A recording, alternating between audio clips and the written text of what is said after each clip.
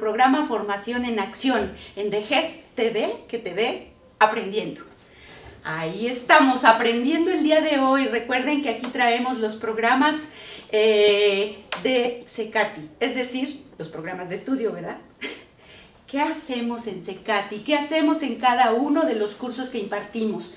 Cuando vemos lo que hacemos, los invitamos más fácilmente a que vayan al CECATI, se inscriban, lo conozcan. Y pues hoy no es la excepción, hoy traemos una profesora de cuál CECATI creen, del CECATI 127, que se encuentra al sur de la ciudad, a la altura de Huipulco, en la calle de Renato Leduc, Chimalcoyot, calle del Río, número 10.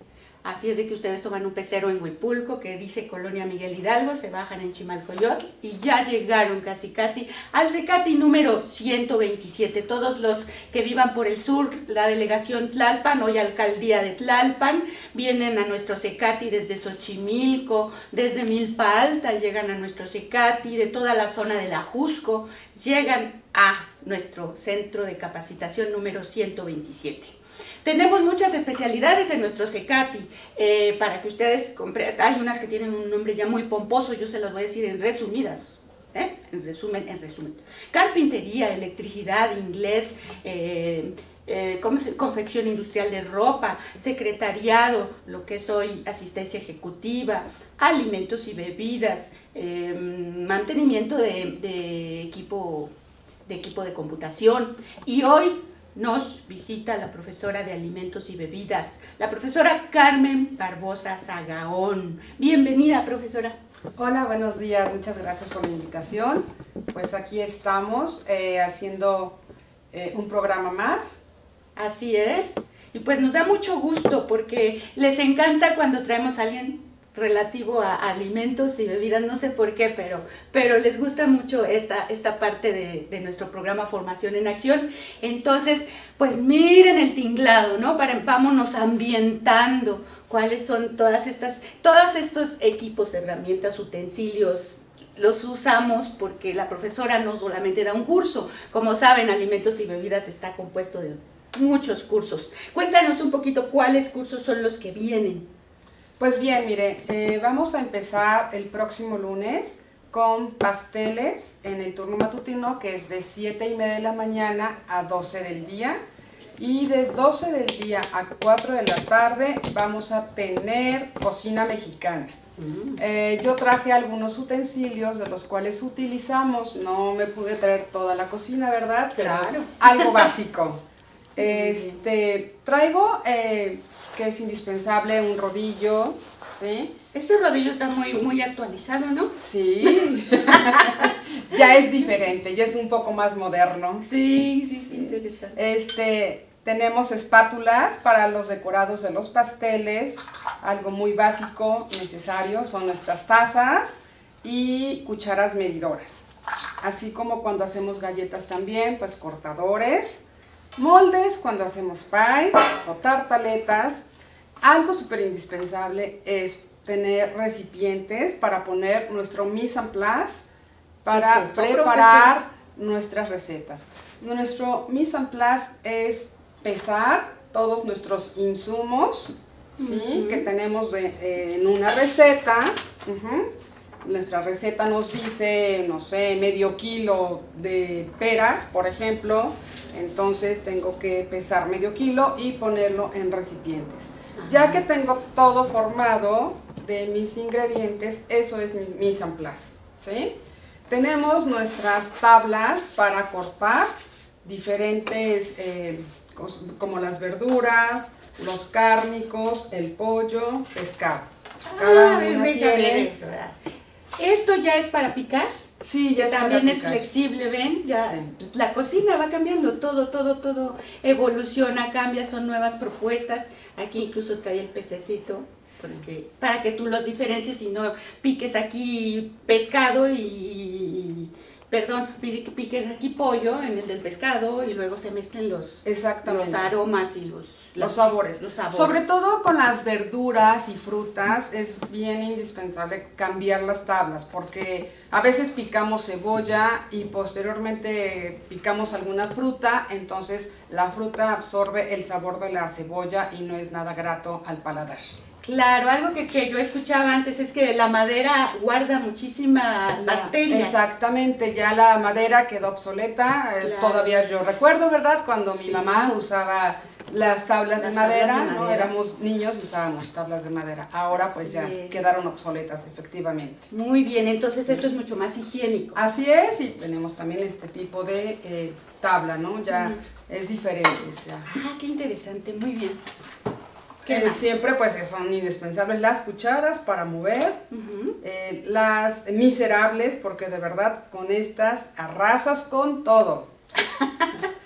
Cuchillitos de sierra ya sea para partir pastel, más bien los pasteles o pan. Sí. Nuestro básico en la cocina, nuestro cuchillo chef. ¿sí? Normalmente o mucha gente cuando llega al plantel, al, al curso, no sabe que este se llama cuchillo chef. ¿sí? Entonces, casi todo el mundo lo tenemos en casa y sí, es básico. Sí. Y otra de las cosas súper importantes es que nuestro cuchillo debe de tener filo para poder realmente hacer bien los cortes. Tenemos nuestras espátulas ¿sí? para hacer diferentes maneras en las masas. Nuestra brochita para poder eh, mojar ¿no? nuestros panes. O sea, con esto se aplica, por ejemplo, la clara. Si le vas a poner sí, a un pan clara. Exactamente, barnizas. Barnizas. Con eso barnizas. O también mojas cuando un pan le, le, vas a poner algún jarabe, también con esto lo puedes hacer. Uh -huh. O hay otras brochitas también de silicón. Uh -huh. Algo indispensable también es un no me quemes, ¿no? Para usarlo en la cocina. Nuestros trapos, algo también básico, indispensable. No un trapo, necesitamos como 10 trapos porque hay muchas cosas el que limpiar y para no estar haciendo contaminaciones cruzadas en nuestros alimentos. Un poco es lo mismo que las tablas. Exactamente, uh -huh. sí. Usamos pues batidora, ¿sí? usamos un cernidor de las harinas o azúcar glass o cualquier situación que se nos presente. Este, diferentes harinas que usamos. Nuestro bowl que también es básico cuando podemos, eh, bueno, mezclas o tenemos que fundir chocolate a baño María, eh, el bowl de aluminio, aluminio es ah, fundamental. Y pues bueno, también tenemos otro molde para pastel y nuestro rallador. ¿sí? Excelente. Este abre latas. Claro, abre latas y abre... Y sí, destapador. Destapador. Esta, cuando tú compras una batidora ya incluye las aspas estas, sí, las tres. Sí. ¿Y por qué tiene tres? Estas tamaño. son para hacer mezclas de ya preparados como de pastel, que sea poca, o sea, realmente esta es una eh, batidora casera, que es unas mezclas muy sencillas, y esto para levantar, por ejemplo, las claras. Ah, okay. ah está muy bonito, muy bien. Sí. Perfecto. Eh, todo esto, por ejemplo, ¿esta brocha es cualquier brocha o se tiene que comprar especial? No, es cualquier brocha. Cualquier brocha. Pueden comprar, sí. De. O les digo, hay unas específicas que son de silicón. Esas eh, sirven para algunas cosas, otras no, porque queda muy abierto, ¿no? Cuando estamos barnizando quedan muy abiertas las rayas ah, sí. y no se, no, no se ve bonito, no se ve uniforme. Se marca, exactamente. Sí. Y entonces este cuchillo, si yo lo quiero comprar, ¿cómo lo pido? Cuchillo chef. Cuchillo chef. Así es. Este, sí. Con este es con el que se pica cebolla así. Así es.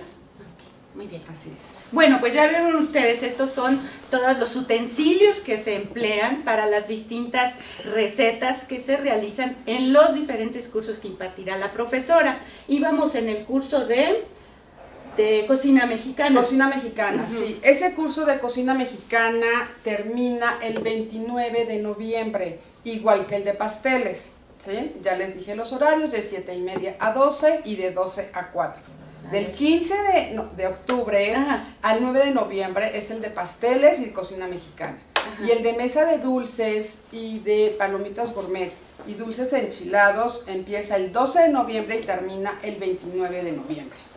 Fíjense, esta de mesa de dulces es muy interesante. Hablábamos de que ahora están muy en boga este tipo de, propuestas de las mesas de dulces porque no solamente es una cuestión de, es una forma de dar la bienvenida a los, a los invitados el invitado desde que llega se siente bienvenido porque visualmente también es muy atractivo. Llega, ya tiene sus aperitivos, podríamos llamarle, sus entradas, sus, ¿cómo podríamos llamarle? Antes de la recepción, digamos, antes de la de la comida, antes de la cena o de lo que ya tienen sus... Sí, ahí es cuestión cómo el cliente lo quiera manejar hay clientes que las dejan abiertas desde el inicio, hay clientes que las dejan, las abren después de las comida o cena dependiendo del tipo de evento. Ah, muy bien. A veces, o sea, actualmente se usa que te dan un cóctel de bienvenida o bebidas y canapés, que es la bienvenida. Y ya pasas a la recepción y después de los alimentos es cuando abren las mesas de dulces. En esta mesa de dulces vemos diferentes postres dulces y salados que se pueden poner en las mesas, así como los costos que se dan para cada una de ellas. Excelente. Los utensilios y cómo decorar. Sí, la oportunidad de ver mesa de dulces de, para una boda y mesa de dulces para una fiesta infantil. Muy alegre, muy llamativo y una variedad impresionante de, de opciones para, los niños, para los invitados. Es muy interesante. Y de las palomitas gourmet ni les cuento, ¿eh? sabores de lo más exóticos, como por ejemplo tocino, había sabor tocino. Ajá, de pizza, de pepperoni, de mm, eh, romero, este, de caramelo. Estos son unos, unos jarabes que se preparan para elaborar las palomitas y las metemos al horno. No es como ponerle ahí nada más un adobo o un chilito o una valentina y ya quedan. No. Son un proceso que se lleva para elaborar estas deliciosas palomitas. Claro, había unas verdes, ¿de qué eran? De jalapeño. De jalapeño. Sí, todas tenían un sabor particular y muy rico, ¿eh? De verdad, es una, algo que no sé si a ustedes se les había ocurrido, pero es una buena alternativa también. Además, para ganarle a la competencia, ¿no? Si el vecino vende palomitas, yo quiero vender palomitas, pero van a ser diferentes, porque van a tener sabores diversos. Muy bien, pues todo esto sería en el CECATI 127. ¿Nos ayudas a darle los teléfonos para claro, por si les interesa? Nuestros teléfonos son 56 66 47 32 y 5606-1497. Muy bien, pues en el segundo programa que ustedes podrán ver con la profesora Carmen Barbosa, ella nos va a preparar una receta muy, muy rica, muy dulce.